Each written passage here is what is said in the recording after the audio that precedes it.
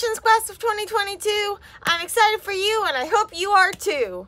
Um, so, whether you're graduating from college or high school or kindergarten, uh, you've accomplished something major. And you should really take a minute to realize that you did something great. Um, and so it doesn't matter if maybe you didn't do so great in certain classes, you have graduated. And this is something that a lot of people can't say.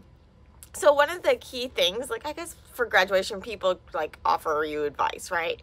So my biggest piece of advice is to really just remember that having that education is a great privilege. Um, and you can repay the favor of this privilege by helping others. Um, and now you are in a position where you are able to help others that are coming before you. Um, so it might seem like, well, I don't know anything still, right? I'm still just like recently graduated. But remember that you that was starting in that that first day of college, that first class or whatever, and how scared you were and how scared everything was. Um, and remember the people that helped you and remember the people that didn't help you and you wish you'd helped you. And don't be one of those people that like holds a grudge and be like, well, now I'm senior, I get to like um I get to torture you because I was tortured when I was a student. No, you remember your former self and you be the person that helps those people. So having an education is just this tremendous um, privilege and not only can you use it to help other people, but you have all these directions open ahead of you. Um, and not only that, but it's not just a piece of paper that you have. It's not just a line on your resume. It's really just a way of thinking. You have been trained to think. Um, so especially if you graduated from college as a, science major or something, you have been you have the thoughts process in your mind of how to think like a scientist. If you went to a liberal arts school like I did, you have this wider, um, this wider understanding and ability to think and connect with people and think about things from a variety of different perspectives. And I think that having different perspectives is a really important thing even as a scientist, you're going to be working with people from all around the world and it's really helpful to have those experiences of college of um, and later of grad school of working with people um, from backgrounds that are very different than your own.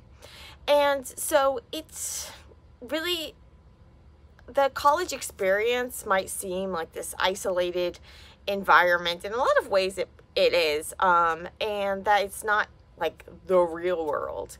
But it really does it really can help prepare you for that real world.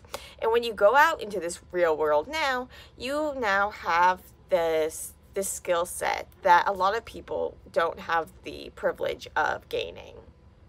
And so i am as you get older you're and more mature no but basically as you get older you start to think back. And so during the time in when you were in college um, you might have times when you were really stressed out and you're like, why am I doing this? Or you're like, ah, I'll just skip that class, right? Okay, well, that was never me. But um, you might have had those times and you might think, like, ugh, I have to do this. Maybe my parents want me to do this or blah, blah, blah. But really, getting this education is a huge, huge privilege. And as you look back, you might think, wow, there were some really tough moments, but those were some of the best years of my life. And having the ability to really just dedicate yourself to learning is such a tremendous privilege, which is why I am just so grateful that I get to be a scientist for my living um, and I get to really learn and explore um, questions um, discover things for my job and like get paid to do it and stuff. And I just find that like such an awesome privilege.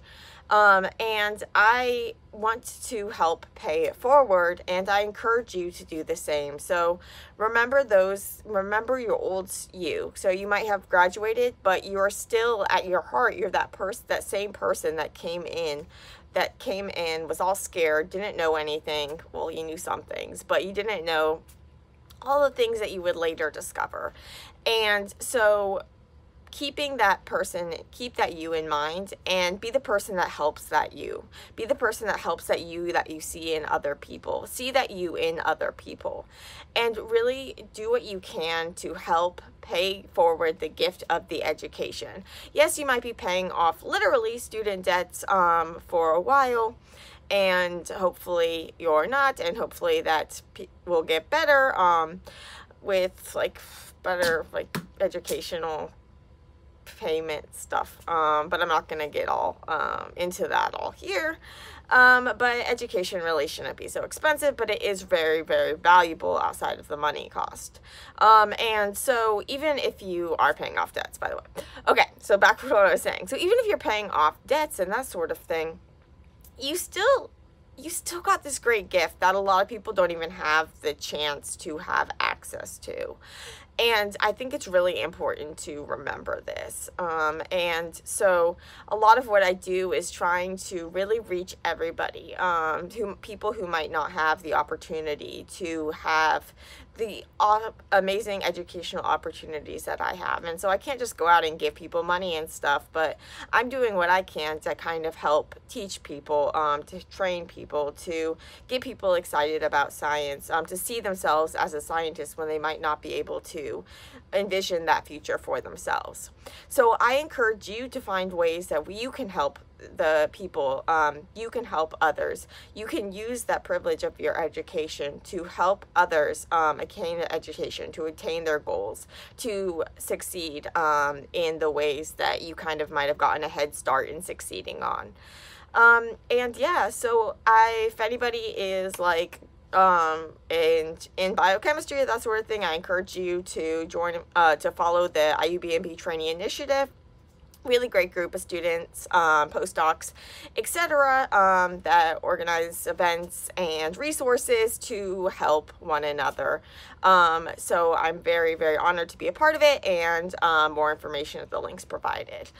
And so that was all kind of just like a rambly po like uh, rant. So I don't think I'm going to be asked to give any like um, official commencement speeches or anything anytime soon. Um, but maybe in the future, maybe I'll um, get better at this whole like speaking thing. Um, but anyway, that's I really just wanted to say congratulations. And I know I've been kind of putting a lot on you to like, you should be doing more to help other people. But really just take a second and congratulate yourself. Um, your hard work has translated into success, and I wish you all the best in your future.